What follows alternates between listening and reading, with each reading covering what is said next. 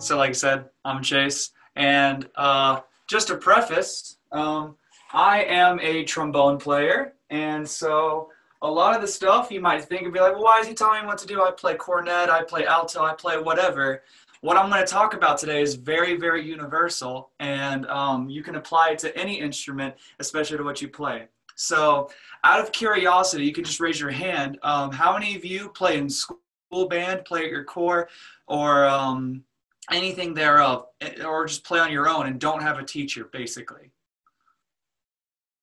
Don't have a teacher. I can't see uh, Yenna or Josh right now, but um, I'm just gonna I'm just gonna go off the assumption that they don't have a teacher. When I was growing up as a uh, little trombone player, I didn't have a teacher either. So uh, what I'm to talk about today are things that you can do on your own uh, that can help you become a better brass player. And you can apply this to whenever you do get back into school band, or you're playing with people at your church, or you're just playing on your own and you just want to get better on your own. So things that I've done that uh, really help me become better that I've found over the years is I always worked on my breathing. And so that might sound weird. I'm like, well, I breathe all the time. And it's like, well, actually breathing is very, very important because without our air, if I if I just grabbed my trombone and didn't take a huge breath of air, I would just and it would be really, really bad. But if I take in a huge breath of air, I'm able to have a really, really good sound, nice full sound. So things that I usually do is I, it's not even long, maybe maybe 30 seconds to a minute. I just I just take in huge breaths. I just go just getting the lungs going, getting the playing going. And then the next thing that I do, nothing that I've done has been very, very advanced. It's just stuff that helped me become a better player. And so what I worked on were scales. So out of curiosity, you could just raise your hand. Do you know any scales, Mackenzie? Or uh, Yenna and Josh? Do you know you know your scales? Well, we're gonna go off of the C scale right now. Just a little exercise to show you guys what I did um, to really help me progress as a player. So there's two types of ways we can play. We can play very, very smooth and connected, or we can play very, very short and separated. And I'll show that later and I get into the pieces. So what I do on my C scale is I take in my huge breath of air, and when I want to play connected, I keep the air going, and I just barely touch it with my tongue. So I'll go.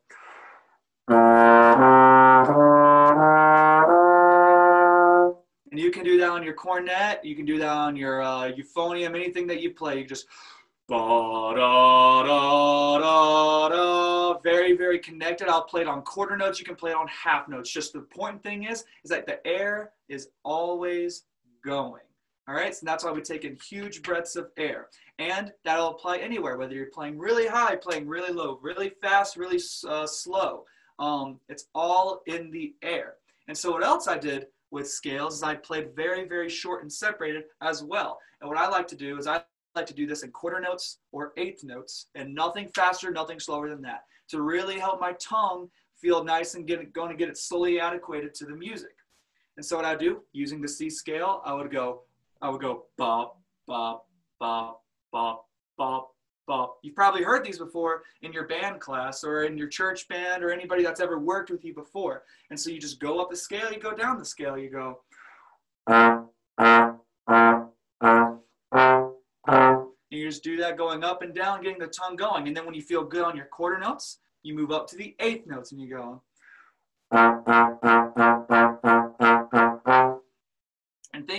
Things going along those nature. To work on your scales is what's really going to help you progress as a musician.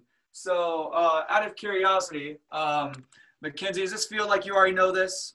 Just like you, uh, you've done this before. It's really trivial. Yeah, I, that that can happen a lot of the time. Some people will just say things over you, like, "I already know this, man. Shut up and do something cooler." So, when it comes to sight reading, I'm going to talk about sight reading now. I like to break down the piece. So I assume you guys are intermediate advanced players. So when it comes to sight reading, we look at we need to look at four pivotal things. We look at the key signature, we look at the time signature, we look at the notes, and then finally we look at the tempo. And so this song is called Do Lord Remember Me.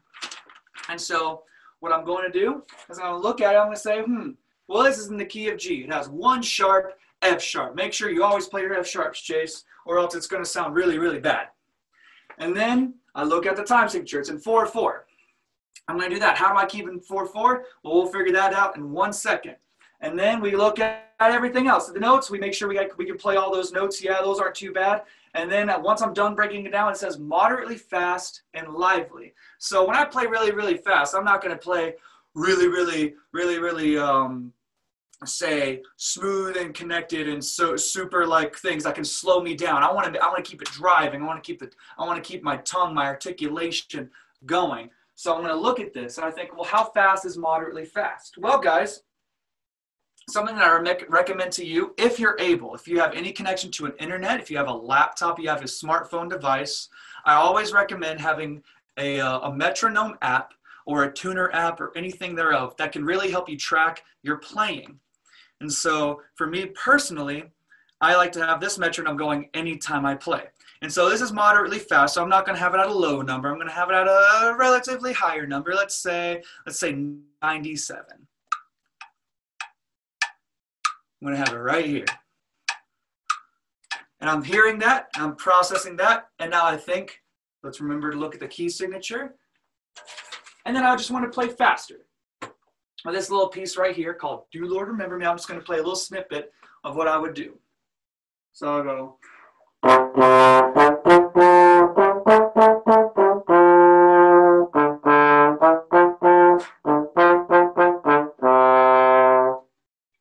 And so when I played that, I made sure that I kept my articulation going, that I kept the tongue fairly going, making sure it's a ta ta ta ta instead of a blah blah blah blah blah kind of style going, if that were to make sense.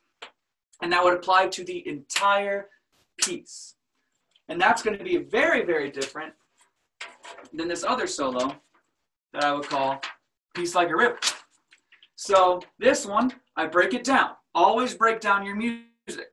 So I look at the key signature. I am in F, which would be one flat.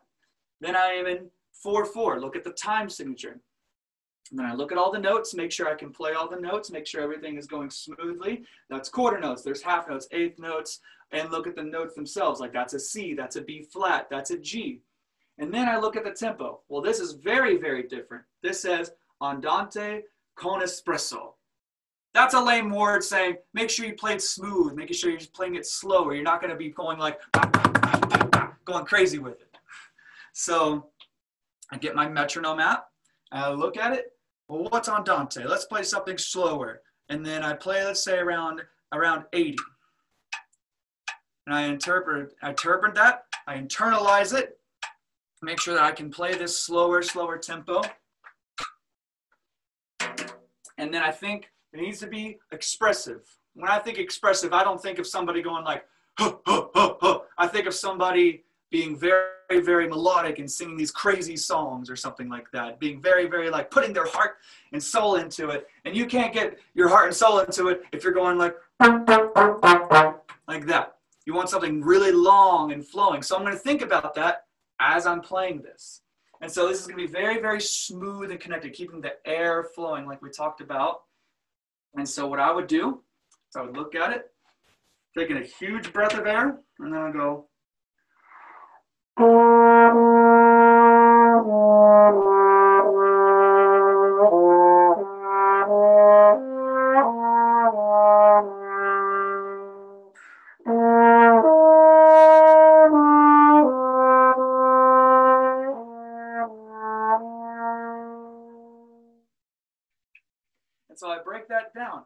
make sure that I can separate a smoother style from a more separated style. It's very, very important to do it and distinguish it.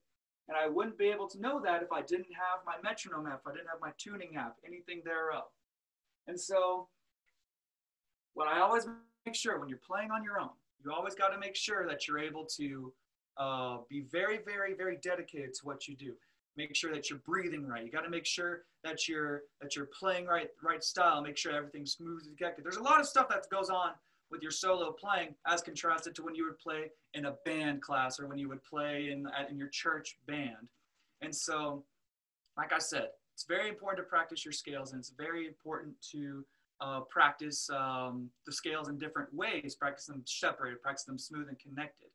But a very, very useful tool that can help you work on your uh, solo playing is if you have access to it, if you, uh, is a is a tune book at your local at your corps and playing those, um, playing your parts, playing the cornet book, anything, playing all these melodies. You'll be able to look at a lot of different pieces at one time, and you can go through that process of breaking it down, looking at the key signature, looking at the time signature, looking at the notes, seeing how fast it's supposed to go. And you can do that, read it down, and move on to the next one. Working on your solo playing with a tune book is very, very helpful when you want to become a better solo player, when you don't have a teacher or somebody to guide you.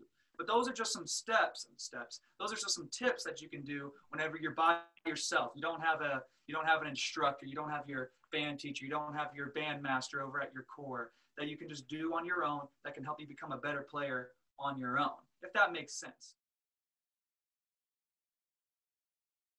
Playing your horn uh, should not it's not going to be like homework. It's not going to be like you have to do your math homework you don't have to do your science homework. This is something that's supposed to be fun and you can make games out of it. I recommend that as well. Don't don't go up to and be like well i have to play this because my corps officer wants me to get good so that i can play good in the band and then eventually go to dsa and play good and make dyb and all these crazy ensembles. No no no it's supposed to be something fun. So I really invite you and challenge you to do these crazy little games with yourself. Like maybe hold, see if you have a sibling around you, see who can hold a note the longest and work on your airflow, or see who can play at the scale the longest and see who can um, play it in a different way, or get other people to hear you. Uh, maybe send a video to your friends, anything like that. Make it fun. This doesn't have to be something like a homework and that. Um, be, just because we're not in band class or we're not at the church as often with other musicians. You can make this fun.